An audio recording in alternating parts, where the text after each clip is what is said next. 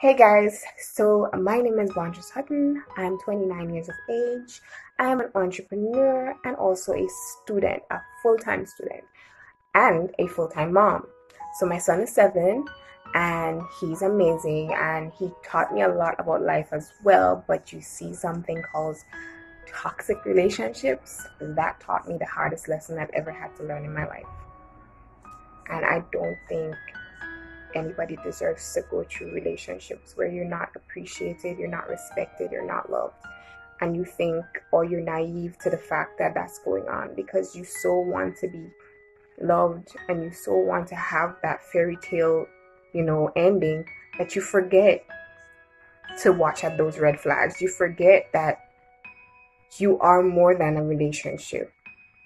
You're worth more than just trying to find a man and I didn't see that. I was um 17 taking 18 when I was entering my second relationship. My first relationship was right through secondary school and I realized I wasn't getting the attention I wanted. I was really attention driven. I was always trying to um get my boyfriend at the time to give me attention and he was focused on um leaving to go to the army and other girls because as they say it was like both of us were virgins and then we ended up doing the deed and so we were very inexperienced about life. And he started to see life differently to how I saw it. And I just said it was time to move on because we weren't on the same page. And I made that decision. And he he wasn't acceptant of it but eventually he had to you know go leave the country because of the army. So he didn't really think about think of it as anything too big because the world out there would have been something you know, of more interest to him.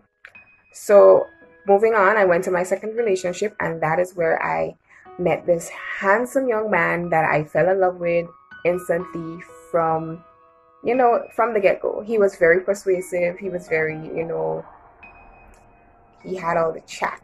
You know, them boys had a had the chat, he had a real chat, and he wasn't really, he didn't seem to be too much of a girlist if you don't know what a girlist is, he didn't seem to be somebody that really, you know, run around. He seemed to be somebody that was looking for a serious relationship. Seemed to be is the biggest um thing there because he wasn't. And he still isn't. And it takes a while for somebody to acknowledge that. And because of that situation that we went through, I'm, I'm really sad that he didn't. What situation I'm talking about is the fact that we were in a two year relationship starting off with the honeymoon stage, starting off with the great, you know, courting and chilling and going to football, going to his football games and bringing his Gatorade and feeling like if I'm his wife when I'm not, because we tend to, you know, do wifely things when we're just a girlfriend. And I was in that stage. I was like, oh my God, this boy is like everything I ever dreamed of and more. And then flesh took play. And when you start making love, especially outside of marriage, that is when your mind plays tricks on you. That is when your mind takes hold of of um not really your mind, but your body takes hold of how your mind works and how your mind reasons things. And I wasn't thinking rational. I wasn't thinking that, you know, he could he could be a potential threat to not just you know my well-being not just my mental health but also to my life.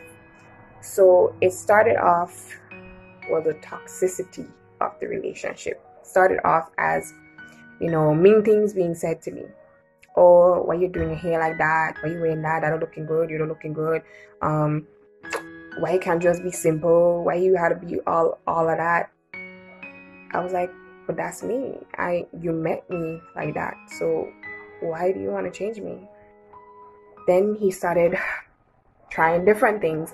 When we went out together, um, he he would try to make people avoid me. He always wanted me and him to be in a specific place, and if I was away from him too long, he became kind of anxious, kind of agitated. And when that starts to happen, that is a red flag. People do not allow that to be any so anything else because to me I used to think, oh my god, this dude loves me so much, he doesn't want me out of his eyesight. But no, that is really not good because that means that he is possessive and he was definitely controlling. So that happened. That was just the first phase of how he started to um, verbally abuse me. But I would say the majority of the relationship, it, it started to eat away at my self worth. I was not thinking positively about myself after a while. So even though it was a short um, relationship, it was actually three years, not two years. So within the last year, it broke down so much different barriers in my life that I couldn't even see myself being in the relationship anymore. I was just holding on to nothing. And that's what we tend to do sometimes. We hold on to things that are not even there. So the little memories that we're trying to, you know, say, oh, we had good times. No, stop holding on to memories and move on. Sometimes it's just, you know, the bigger picture. And I wasn't seeing the bigger picture. And that fateful night, um, he came to my house because I started to hear rumors of um, him cheating, and I was really, really, really, really upset because he was really adamant about cheating, and and he doesn't like it, and he finds it's really is really disgusting to know that people in relationships and they're they're hurting each other like that. So I was like, he can't be cheating on me. You know, I'm I'm I'm trying to be the best girlfriend too. So when you try to be so perfect in a relationship and you hear that someone's cheating on you, you get real different. So I was like, you know what? Let me stop stringing and holding myself back in this relationship and let me move on. Because I was young and I, I wasn't intending to get married soon or anything like that. So I told myself, watch, it's time. Called him over. He came over right from work. And um, he came and he talked to me. And I was like, I'm sorry. He gave me a promise ring. I gave him back. I went upstairs. I got it. I brought it back. I said, you can have it. I'm not gonna be in this relationship and be disrespected anymore. I'm not gonna be in this relationship and not know what's what's coming next because you start to get kind of agitated when people are so um, hurtful towards you. You start to get scared like what else can they do? And I was becoming the aggressor now because I was so scared that he might try something. I started to get aggressive in the relationship to be like the one in the forefront. We tend to like you know, want to put up this tough act so that he could feel like I'm not messing with this woman because she looks like she's dangerous or something. So I was t- tired of it. I was really tired and I needed to move on and get my life back together. He came, he listened to what I have to say. I told him about the young lady, I told him what I heard, and from multiple people that were not little kids, they were adults trying to give me direction, and I was not, you know, listening at first. But then, then I took it to heed and I said, Yeah, it's time. So he's like, Okay, okay, I hear you, but we don't have to break up because people just say things and you can't be listening to people. If you love me, blah blah. No, it was a long conversation, honestly. And I had on like the sweater thing, like the shorts and some like layered clothing. So I had on a lot of clothing because it was really cold that night. And he was not taking it. He was not taking that answer. He was not taking the fact that I was not gonna continue the relationship. So he was like, No, if I can't have you, nobody's gonna have you. And I was like, I was like laughing. I was like giving this sarcastic laugh, like, what are you talking about? Are you crazy? And I was thinking like, he could be with this other girl. So what is his problem? And I pushed him, and he was like blocking the way for me to go back up to my mo- my house. And I pushed him again, and and the second time I pushed him, he came back, and he paused, and he pulled out something from his pocket,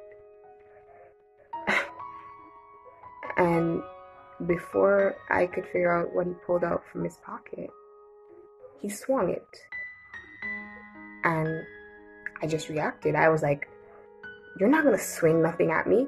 And I like he ran. After he did that, he ran. So I ran behind him and I was running. You could imagine running behind somebody you don't even know what they did to you, just running behind them out of like anger and frustration. And, he ran out my gate. And while I was running, I felt like this this warm liquid like run down my stomach. And I grabbed it and I was like, shit. I cannot believe that the warm liquid that was coming down on my stomach was blood. Because this guy pulled out his work knife. So remember, he came at me right after work. He pulled out his work knife and he swung it at my stomach. And because I had on layers of clothing, it ripped through my clothing and cut me. But it was just skin deep. It wasn't deep enough to show or to expose my internal organs. But I didn't know that. I just grabbed hold of my stomach like for dear life because I was like, what? What is happening? I felt like my world was crashing around me. I felt so angry. I felt like I don't even know how to start to tell my parents. My dad was already, you know, upset about the fact that um I was in this relationship and always complaining, yet still I stayed. And look now. So that's one thing. If you're complaining about your relationship a lot and you're having problems, don't stick and wait for something to happen. Get out. Like, there's nothing else that you could be waiting on. There's nothing else worth, you know, going through all that pain for.